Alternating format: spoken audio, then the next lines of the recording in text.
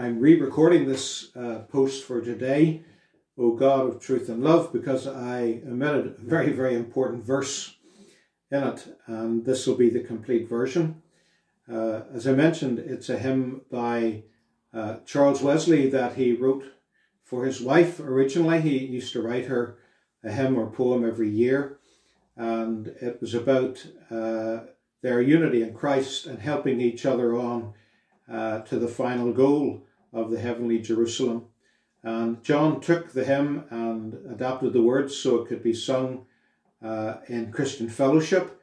And it's a beautiful uh, hymn about God's providence in whom He uh, unites us with in fellowship, uh, accepting uh, those that He has placed us among, and our responsibility to, as He says, kindly help each other on and to bear each other's pain. And the verse that I left out was about how He had united our hearts and spirits here, that in heaven we might join together at the marriage supper of the Lamb.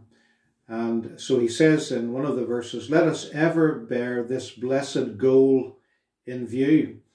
Uh, in other words, our fellowship here is to help each other on towards the heavenly Jerusalem. Um, and as we were saying in Pilgrim's Progress, to see this life as a pilgrimage towards the completion of our great and glorious hope, which is to be with Christ uh, forever. And so here's the full version this morning. O God of truth and love, we seek your perfect way. To approve, your providence to obey. Accepting all your wise design, our wills with yours we gladly align.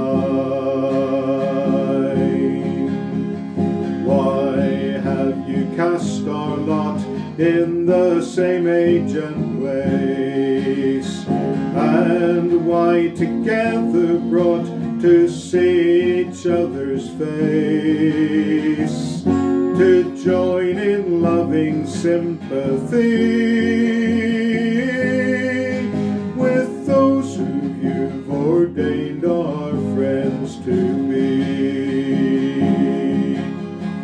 Did you not make us one that we might one remain?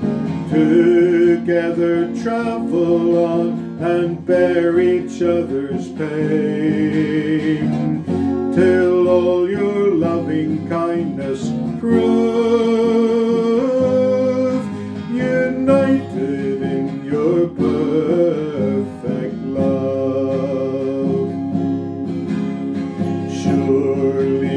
did unite our loving spirits here, that each in heaven might before your throne appear.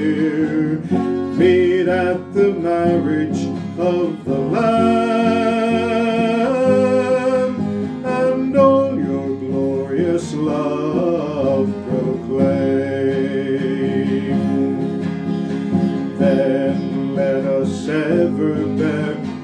blessed goal in view, and join with mutual care to fight our passage through, and kindly help each other on,